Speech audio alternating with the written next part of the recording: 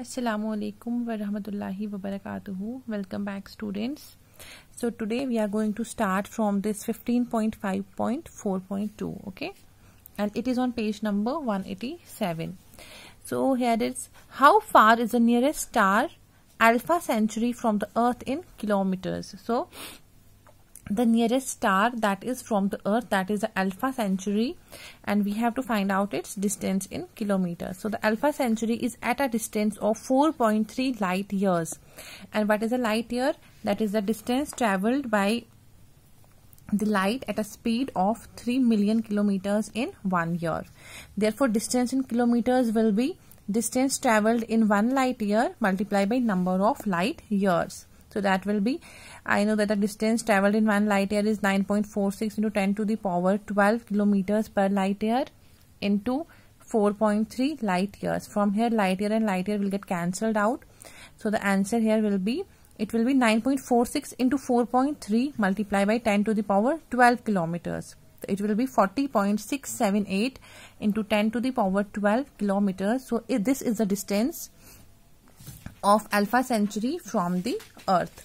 Now the next topic is why do the stars appear to us like point objects? That means why the stars that we see in the sky they appear as point object that means very small okay? So the stars much like our sun are celestial bodies. We know that the stars they are also the celestial bodies since sun is also a star okay?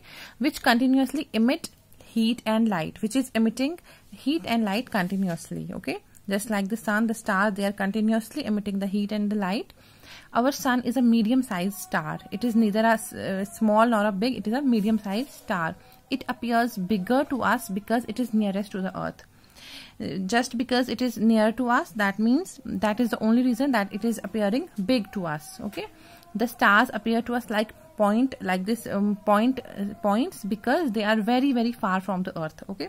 So the reason why the stars they uh, they appear to us like point object that is because they are very very far away from the earth. Most of the stars are so much far away that the light from them take millions of years to reach the sun okay so what is the reason for the stars to appear like point objects? Because they are very very far from us.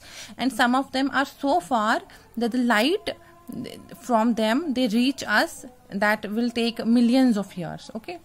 Now here is appear to be changed. The distance between any two stars not change when viewed from the sun now, stars are moving away from each other at a very high speed. However, when viewed from the sun, the distance between them does not seem to change because they are very, very far from us. See, it's being said that the stars, they are moving away from the, each other, okay?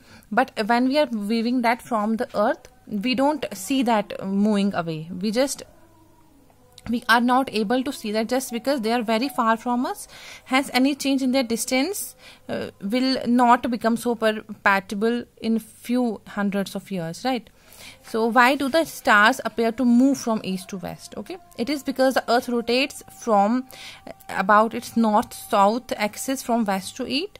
Due to this relative motion all the heavenly bodies appear to move from east to west. Since our earth that rotates north south that is axis from west to east. Since our earth that rotates from west to east so due to this relative motion all heavenly bodies they appear as if they are moving from east to west okay? Now there is why does the pole star that is the polaris or the dhruv tara not change its position in the sky? So what is the reason for that? This is a pole star that is known as a dhruv tara okay? So this is the earth it is axis no, the pole star is situated in the direction which is directly above the geographical north pole of the Earth's axis. Thus, its position relative to the Earth does not change and it appears stationary. Okay, since it appears above the geographical north zone, north pole sorry so that is why its position that is relative to the earth it's not changing and we see that it is stationary it appears to be stationary because of that now the next topic is the constellations. So what are the constellations?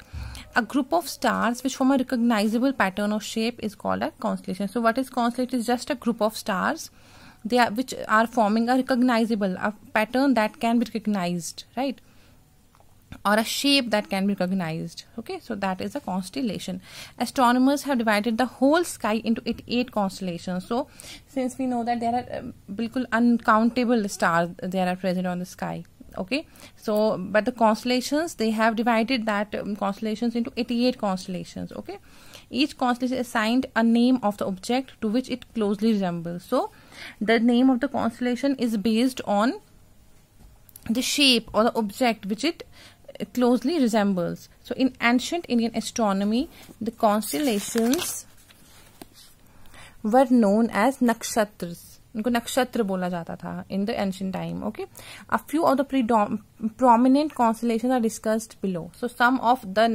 these constellation are discussed below as there eighty eight in number but some of them are given below first one is the Ursa Major और the big dipper और the वृहद Saptarishi this constellation consist of seven bright stars okay arrange in a pattern some one resemble the shape of a big bear So that is known as a Big Dipper, because if you could see, it resembles the shape of a big this bear. The stars marked one, two. This is one, two, three, four, five, and six and seven. Represents the body, and the stars five, six, and seven that represents the tail of the big bear. The head and the paws of the big bear are formed by some faint stars which are not shown here in the diagram okay because just the seven star they are very bright. The other one they are mm, some faint ones okay? The ursa major constellation can be linked to the following objects. It looks like an oversized lady in which stars. 1 2 3 4 form a cup of it is a ladle not a lady sorry. And stars 5 6 and 7 form the handle. The stars 1 and 2 at the end of the this ladle are called pointer stars as they point in the direction of the pole star. It looks like a question mark. Now the second this uh, link that is it looks like a question mark suspended across the sky where the stars this 1 2 3 and 4 form a curved path and the stars 5 6 and 7 they form a straight line part of the question mark. Now the it it also resembles a kite having a long tail.